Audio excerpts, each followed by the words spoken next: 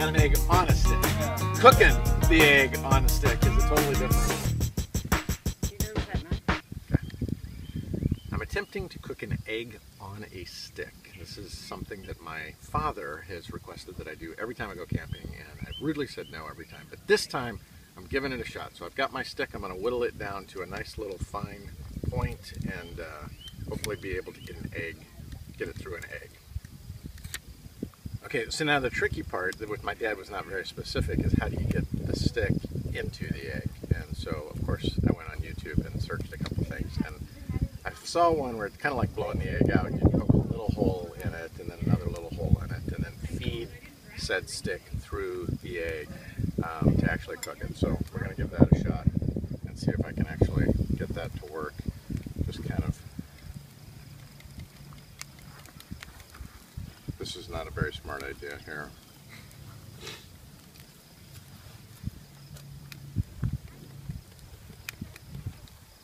Now let's see how well I can get the stick through.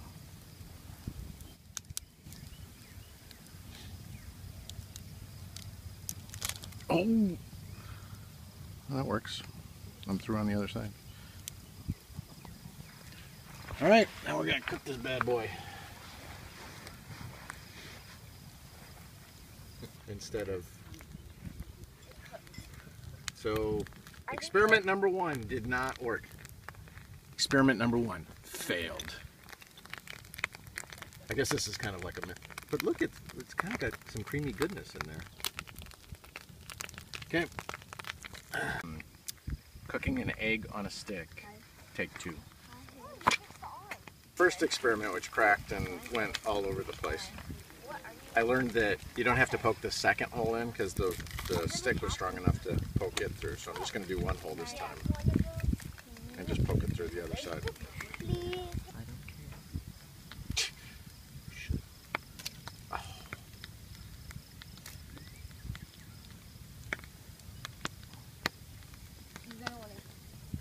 And I can't turn this egg around because my holes are too big. See, I spin the stick, it's just the egg just stays put. Whoa. Oh, there we go. Oh! Alright, just let that cook for a little bit. Time for a coffee break. Option two is not to use a stick.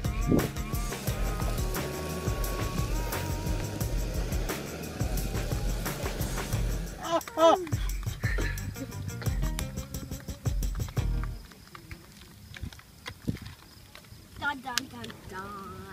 There you have it, a delicious egg to eat after roasting it on a stick.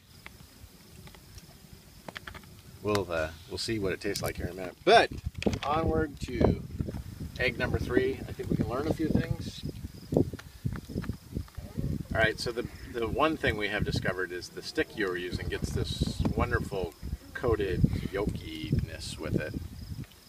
I'm gonna wait till after the third egg before I actually just lick that off the stick. Gotta be careful not to get any splinters, but uh, I think it adds more flavor to each successive egg. I think I gotta go through. Okay. Oh, that was actually pretty good. I sound so surprised. oh, and look, my egg spins. The stick just broke off. It, so mm -hmm. I doubt any of you. See, it's made for egg. Oh, okay, I got you. Look at that. Oh. like a rotisserie. Okay. All right, we'll let our eggs cool down here a little bit so we could uh, easily crack them and eat them. If there's anything left in there. Oh, look look at that awesomeness inside there. Not sure what that big black spot is. I think that's charred wood.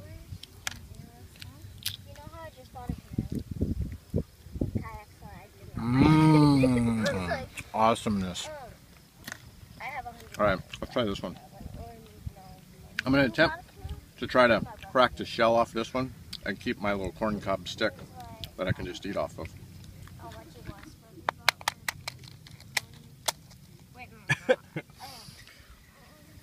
the egg's kind of shrunken in there.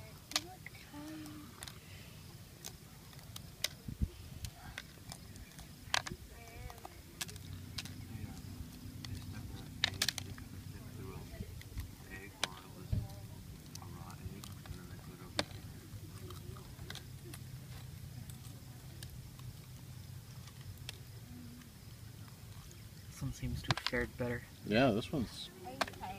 Oh, look at that right there. I'll just be able to eat that one right off the stick.